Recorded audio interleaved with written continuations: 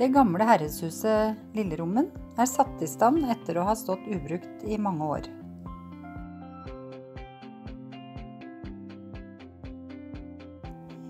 Landets best bevarte kirkeruiner fra 1100-tallet finner du i nettopp Nes.